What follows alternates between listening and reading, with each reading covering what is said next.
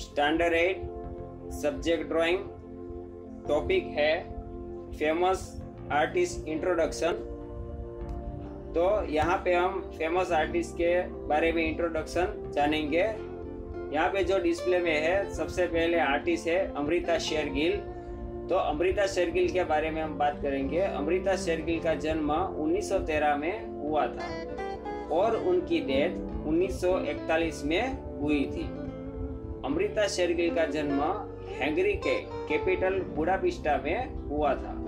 उनकी माता से उनको म्यूज़िक और आर्ट का एनकवरेजमेंट मिला था, यानी कि उनसे प्रेरणा मिली थी। अमृता ने पेरिस में ल्यूसिया सिमोना के पास रहकर आर्ट एजुकेशन लिया था। अमृता शेरगिल के पिक्चर यंग गर्ल को पेरिस की इंस्टीट्यूट ग्रांड सेलो से गोल्ड मेडल मिला था।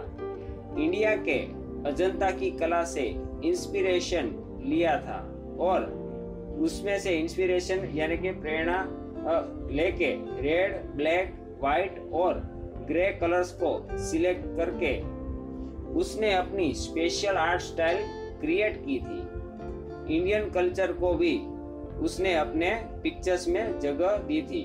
उनके आर्ट में फ्रेंच आर्टिस्ट सेजा और पॉल गोंगा का प्रभाव था?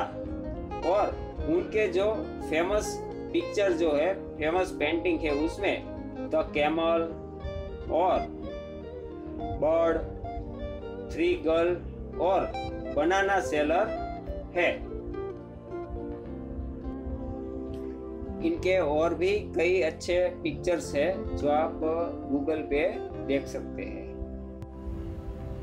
दूसरे फ़ेमस आर्टिस्ट है माइकल एंजेलो माइकल एंजेलो का जन्म 1475 में हुआ था और उनकी डेथ पंद्रह में हुई थी। माइकल एंजेलो का जन्म इटाली के फ्लोरेंस में हुआ था। वो वर्ल्ड में स्कल्पचर और ड्राइंग से जाने जाते थे ड्राइंग से मशहूर थे। सिर्फ़ 18 साल की उम्र में ही उन्होंने मेडोना स्कल्पचर बनाया था। वेटिकन में आए हुए सिस्टाइन चैपल में उन्होंने बनाए हुए पेंटिंग्स और स्कल्पचर वर्ल्ड फ़ेमस है।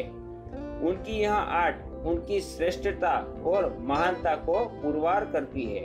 28 साल तक उन्होंने वहाँ पेंटिंग्स और स्कल्पचर पे वर्क किया। वह ग्रेट आर्टिस्ट, स्कल्पचर्स, आर्किटेक्ट और पोएट थे। उनकी फ़ेमस वर्क में Pieta Madonna the last judgement and slave यानी के मरता हुआ गुलाम है। उनकी आर्ट आज भी आर्ट लवर को इंस्पिरेशन करती है, यानी के प्रेरणा देती है। इनके काफ़ी सारे पेंटिंग्स भी आपको गूगल पे देखने को मिलेंगे। तीसरे महान आर्टिस्ट है Leonardo da Vinci Leonardo da Vinci का जन्म चौदह में हुआ था और उनकी डेट 1519 में हुई थी। लियोनार्डो द विंची का जन्म इटाली के विंची गाँव में हुआ था। ऐसा माना जाता है कि पूरे यूरोप में multi dimensional personality Leonardo da Vinci के अलावा किसी और की हो ही नहीं सकती है। वह, क्योंकि वह एक चित्रकार शिल्पकार, आर्किटेक्चर इंजीनियर और साइंटिस्ट थे। उनका पेंटिंग मोनालिसा, जो है वो वर्ल्ड में फ़ेमस है। आप सभी जानते हैं।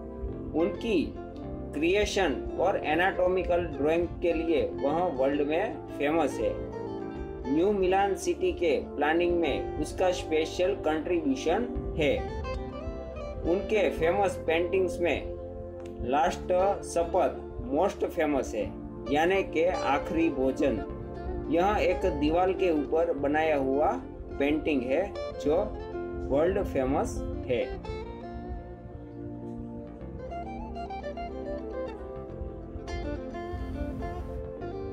Famous artist Raphael Raphael artist का जन्म चौदह में हुआ था। और उनकी डेट 1520 में हुई थी। राफेल का बर्थ यूरोप के रोम में हुआ था। उनके फादर पेंटर थे। पॉप के इनविटेशन से रोम को अपना वर्किंग प्लेस बनाया था।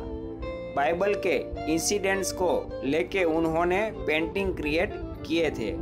उनके कलर कॉम्बिनेशन एट्रैक्टिव थे।